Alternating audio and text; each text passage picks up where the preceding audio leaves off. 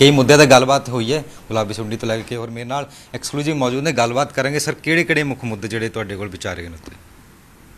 MH1 ਦਾ ਤੁਹਾਡਾ ਸਾਰਿਆਂ ਦਾ ਬਹੁਤ-ਬਹੁਤ ਧੰਨਵਾਦ। ਤੁਸੀਂ ਇੱਥੇ ਆਏ।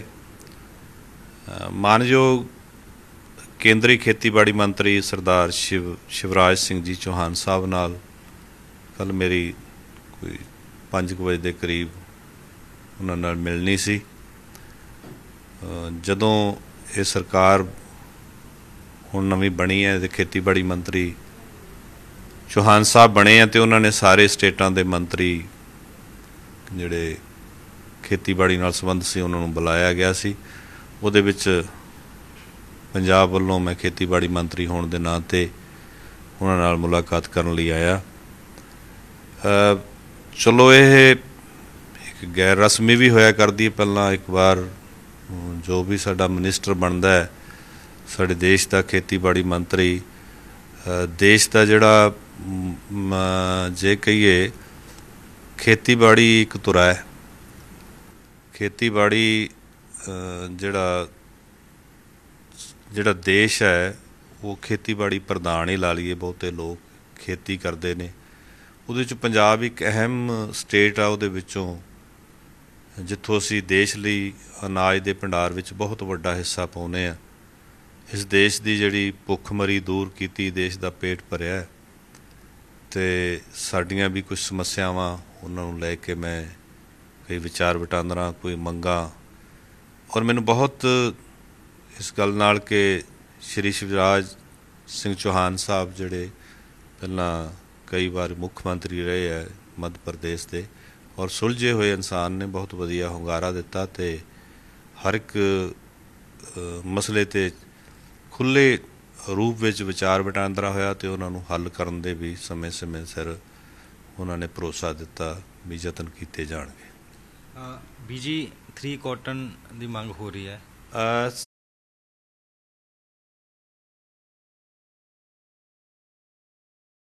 ਵਧੀਆ ਕੋ ਪੰਜਾਬ ਦੇ ਖੇਤੀ ਬਹੁਤ ਵੱਡੇ ਰੂਪ ਵਿੱਚ ਹੋਇਆ ਕਰਦੀ ਸੀ। ਜਿੱਥੇ ਟੈਕਸਟਾਈਲਸ ਮਿੱਲਾਂ ਵੀ ਚੱਲਦੀਆਂ ਸੀ, ਬਹੁਤ ਸਾਰੇ ਮਜ਼ਦੂਰ ਵੀ ਕੰਮ ਕਰਦੇ ਸੀ, ਬੜੇ ਵਪਾਰੀਆਂ ਨੂੰ ਵੀ ਉਹਦੇ ਨਾਲ ਮੁਨਾਫੇ ਵਿੱਚ ਸੀ।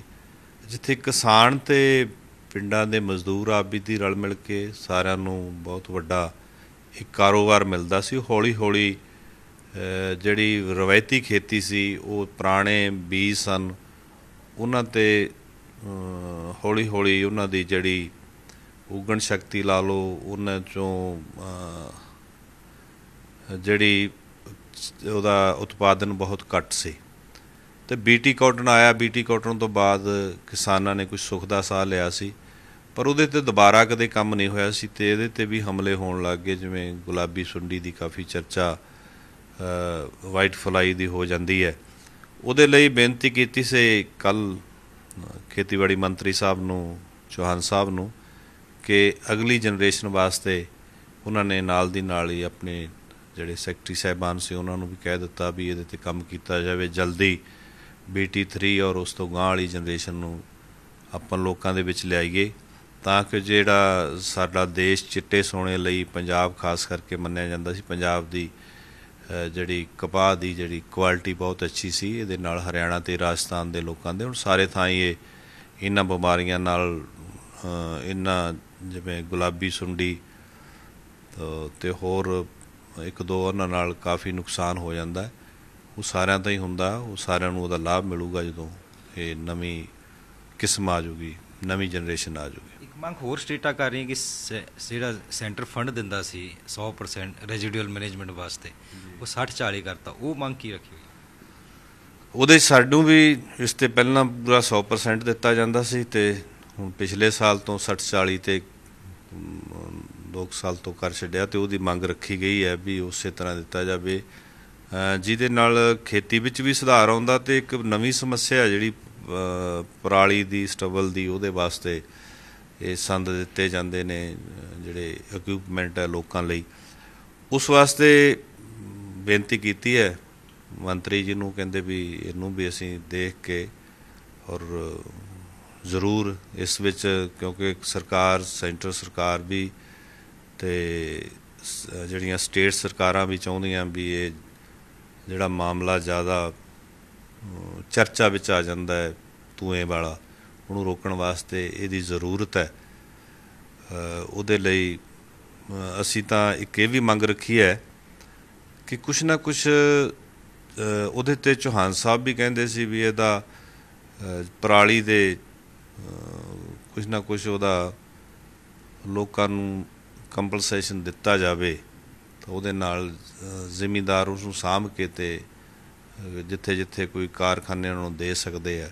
ਉਹਦੇ ਲਈ ਕੁਝ ਸਰਕਾਰ ਅਸੀਂ 2500 ਰੁਪਏ ਦੀ ਮੰਗ ਰੱਖੀ ਹੈ ਵੀ ਜੇ ਜ਼ਿਮੀਂਦਾਰ ਨੂੰ ਪਰ ਏਕੜ ਉਹ ਕਹਿੰਦੇ ਸੀ ਕੁਝ ਜਿਵੇਂ ਉਹਦੇ ਉਤਪਾਦ ਤੇ ਉਹਦੇ ਤੇ ਹਿਸਾਬ ਲਾ ਕੇ ਉਸ ਨਾਲ ਕੋਈ ਨਾ ਕੋਈ ਸੋਚ ਵਿਚਾਰ ਕੀਤੀ ਜਾ ਸਕਦੀ ਹੈ। ਆਖਰੀ ਸਵਾਲ ਰਹੇਗਾ ਮੇਰਾ ਪੰਜਾਬ ਬਜਟ ਆ ਰਿਹਾ ਅਗਲੇ ਹਫ਼ਤੇ। ਕ੍ਰਿਸ਼ੀ ਨੂੰ ਲੈ ਕੇ ਪੰਜਾਬ ਦੀ ਕੀ ਮੰਗ ਮੁੱਖ ਸੈਂਟਰ ਤੋਂ ਰਹਿੰਦੀ? ਦੇਖੋ ਜੀ, ਸਾਡਾ ਤਾਂ ਇਹ ਇਹ ਮੰਗਾਂ ਬਹੁਤ ਮੁੱਖ ਹੈ। ਨਾਲ ਸੀ ਸਾਡਾ 82 ਕਰੋੜ ਰੁਪਈਆ ਜਿਹੜਾ ਕ੍ਰਿਸ਼ੀ ਵਿਕਾਸ ਯੋਜਨਾ ਜਿਹੜੀ ਰਾਸ਼ਟਰੀ ਕ੍ਰਿਸ਼ੀ ਵਿਕਾਸ ਯੋਜਨਾ, ਉਹਦਾ ਰੁਕਿਆ ਵੀ ਉਹ ਦੇਣ, ਕਹਿੰਦੇ ਸੀ ਇਹਦਾ ਵੀ ਜਲਦੀ ਕਰਦੇ ਕੱਲ ਹੀ ਇੱਕ ਸਾਸਾ ਜਿਹੜੀ ਸਟੇਟ ਐਗਰੀਕਲਚਰ ਸੈਟਿਸਫਾਈ ਸੈਟ ਕੀ ਉਸ ਦਾ ਕੋਈ, ਹਾਂ